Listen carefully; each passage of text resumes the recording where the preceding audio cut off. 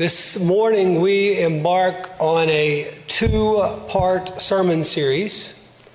The first is in the historical record of Genesis chapters 1 through 11. I specifically put in that statement the historical record of Genesis chapters 1 through 11. And the second is in the book of Revelation. I have titled the first part of our series From Made to Marred, and the second part of our series From Marred to Remade. My aim in this sermon series will neither be to answer every question that people might pose, we have not the time for that, nor will it be to dwell upon scientific matters, philosophical musings, or apocalyptic speculations. Rather, these messages, I hope, will speak clearly to us about who God is, about who He has created us to be, and about what He has called us to do. That is what the opening chapters of Genesis are most certainly about. They were written by Moses to the Hebrew people amid their exodus from Egypt.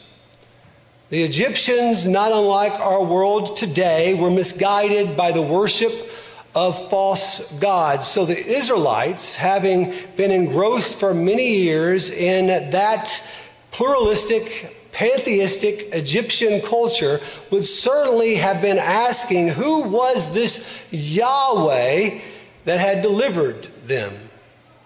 To their queries, Moses responds that Yahweh was I am. Yahweh was the one true, self sufficient, self existing, eternal, all powerful God. All the little g gods were merely pre existing made things like sun gods, our animal gods, our fertility gods. In short, everything that people falsely worshiped then and everything that people falsely worship now are merely things that the living God has created. So Moses does not write an astrology book about the function of galaxies and the nature of its stars. He does not write a geology book about the age of the earth. He does not write a paleontology book about what happened to the dinosaurs. He does not write an anthropology book or a sociology book about all the different people groups. No, Moses is writing a theological redemptive book. He is writing about the creator who creates. He writes about the personhood of God and what that practically means for us. But perhaps this all seems a bit odd, seeing as how Moses was born well after the unfolding events of Genesis. Where would Moses have compiled that which he communicates? For one, there were accounts, likely handed down in families on tablets of stone, which can trace back to Genesis 5, verse 1, and the words, This is the book of the generations of Adam. That is language repeated nine more times, with the last record being at Genesis 37 and verse 2. Second, patriarchs such as Jacob left behind physical structures to provide remembrance of various happenings. Third, Joseph would have likely kept detailed records of Hebrew ancestry during his years in Egypt. No doubt there was also a strong oral history among the Jewish community, a history that Moses' mother would have shared with him before he went to live in Pharaoh's palace. Most importantly, like all authors of the biblical record, Moses received direct inspiration from the Holy Spirit. It is under the direct inspiration of the Holy Spirit that Moses begins with the profound truth of our text for today. It is only one verse. It is the first verse, Genesis 1 and verse 1. In the beginning, God created the heavens and the earth. So it is in the opening sentence of Scripture, we are brought into the presence of God. In fact, God's name appears 31 more times in the 30 verses that follow in this first chapter. God is clearly the subject of creation.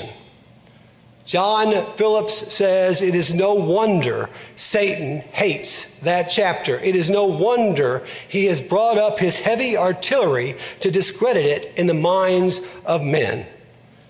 You see, Satan knows that if we abandon what the Holy Spirit teaches about creation, we will soon find ourselves abandoning what the Holy Spirit teaches about salvation. Satan knows that if we question what the Holy Spirit says about the start of history in Genesis chapter 1, what's to stop us from questioning the end of history in Revelation chapter 22? We must reject adamantly any and every claim that suggests the first 11 chapters of Genesis is somehow mythical or somehow allegorical. It is not. If the first Adam is simply an allegory, why would the same not be true of the second Adam? If humanity did not really fall into a state of sin, why would we need a Savior at all?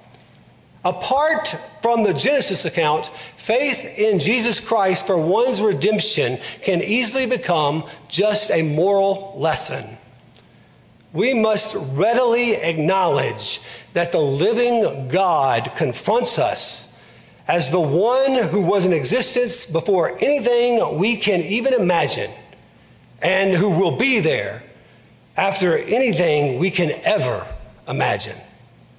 Ultimately, it is to Him and Him alone that we must give answer.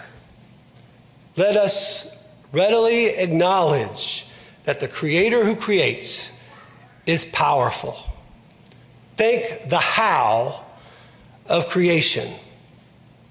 Around the year 1965, researchers announced the creation of artificial protein in a lab.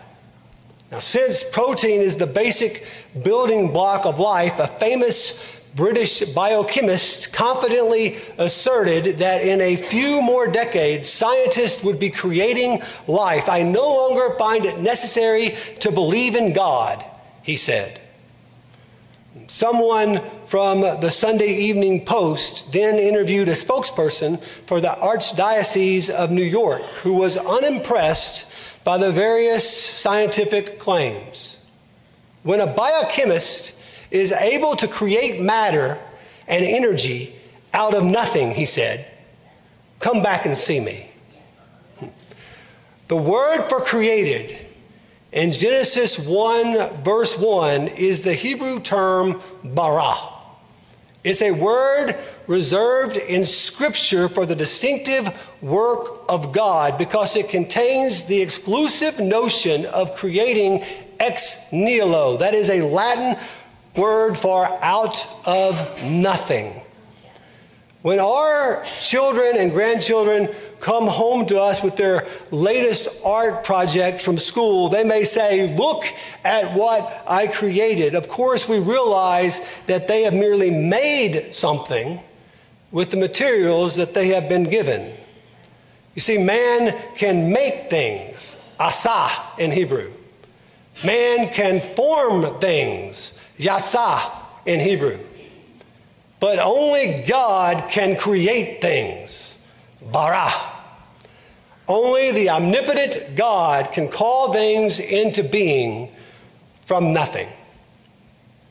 Harold Fortescue was a budding newspaper reporter, and on his first assignment, the editor sent him to cover a significant local social function.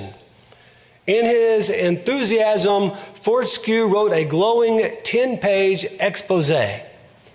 Yet, to his dismay, the editor never even read his report. Instead, he immediately handed the article back and told Fortescue to cut it in half. Fortescue complied. Only when he returned, the editor once more did not even read it. Instead, he handed it back to him and said, Cut it in half again.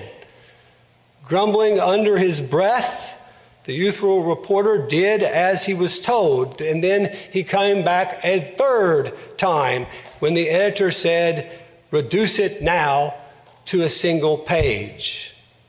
Fortescue began to openly protest, but his boss cut him off. Young man, the editor said, you have obviously overlooked how the creator of the universe introduced the entire creation narrative in only 10 English words. In the beginning, God created the heavens and the earth. John Phillips says, There it stands in all its naked force, the opening statement of Scripture. No attempt is made to water it down. No attempt is made to apologize to a skeptical age. No attempt is made even to prove that God exists. The Holy Spirit simply deems certain truths to be self evident. The first and foremost, that God is. God is. Something has to exist from all eternity because it is impossible for nothing to come from nothing. Either you must believe in an eternal, self existing God, or you must believe in an eternal, self existing universe. Those are your only choices. At the root of the great scientific fallacy known as evolution is the notion that the universe emerged from a hot, dense state at some infinite time in the past. Yet, as Henry Morris explains, random particles of matter could not by themselves generate a complex, orderly, intelligible universe, not to mention generate living persons capable of applying intelligence to the understanding of such a complex universe. We need a purposing, personal God who gives form and meaning to an otherwise disorderly, impersonal universe.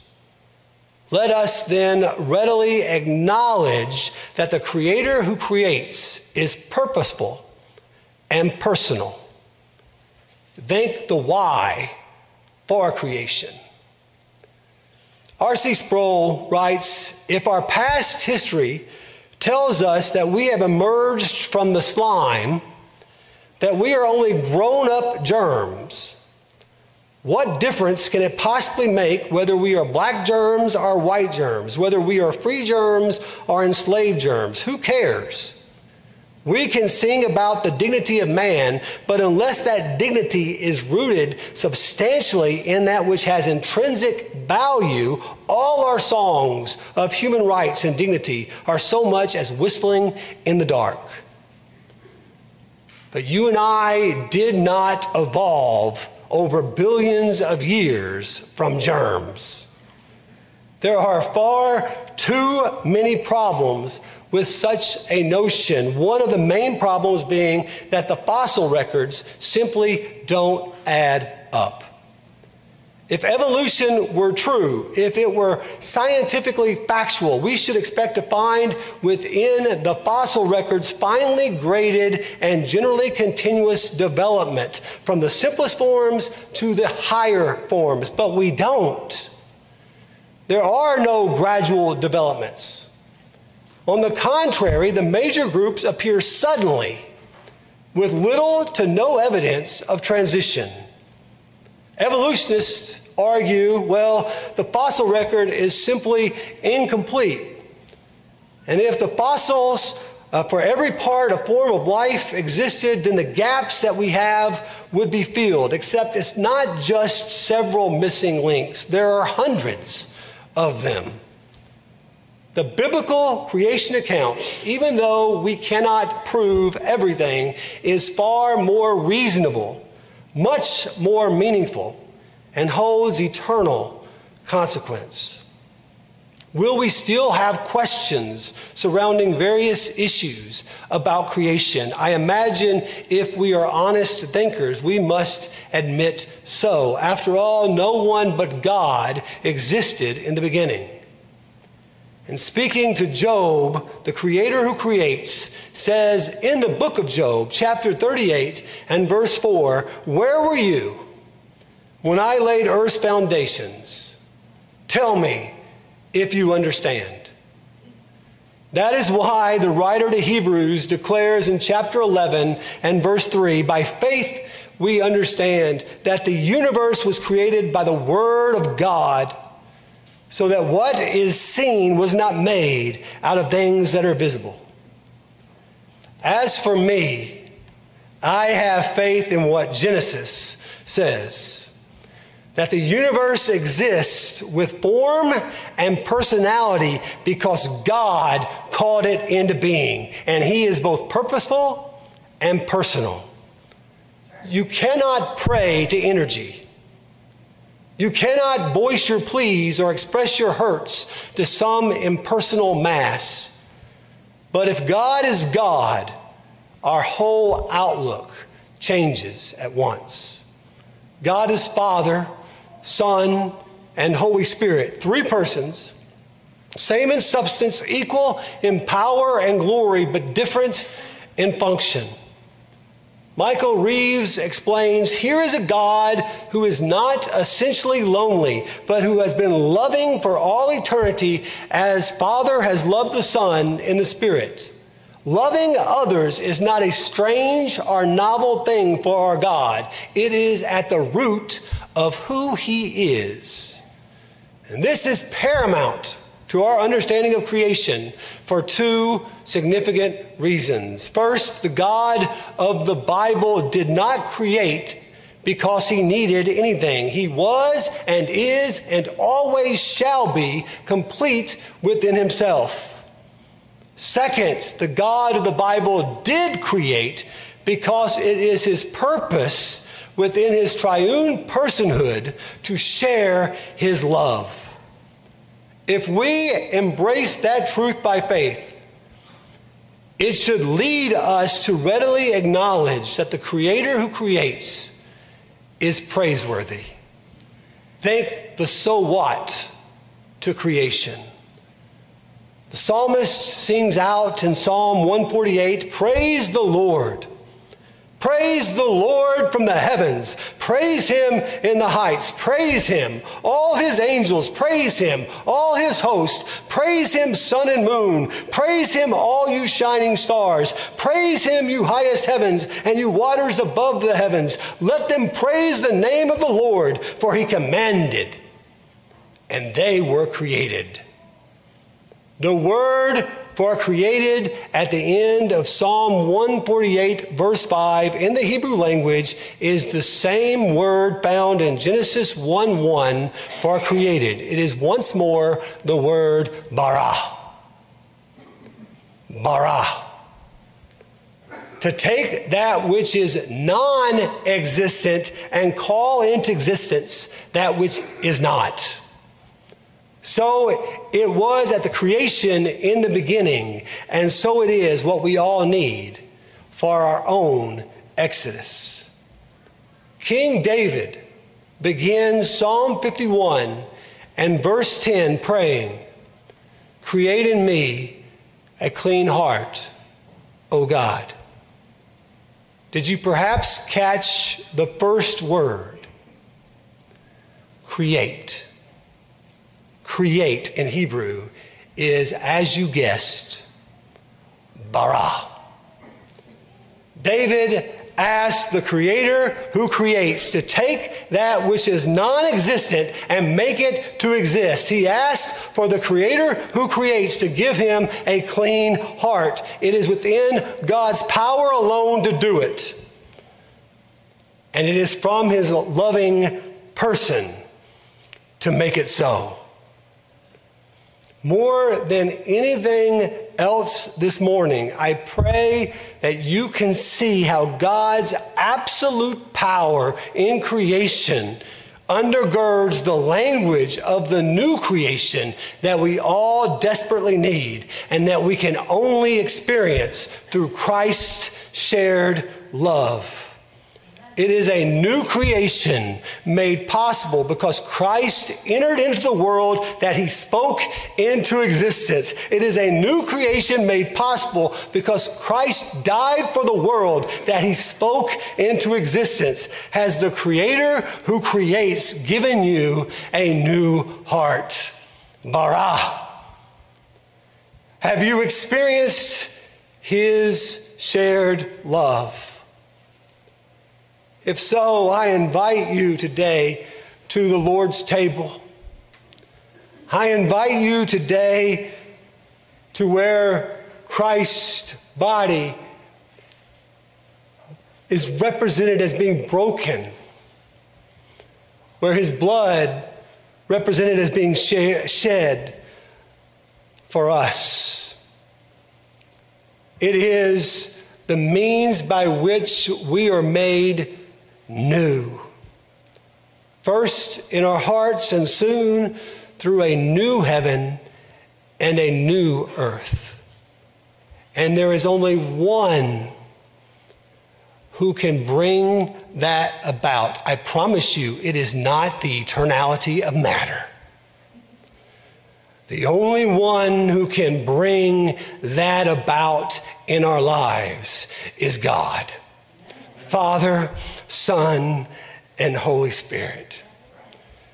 Today, I invite you, if you have asked God to bring into you a new heart, to take that which is non existent and make it so. Today, if you have done that, this table, this meal is for you. But if you have not yet done that, once more, I tell you, do not come, but allow the elements to be a testimony to what God has done for you.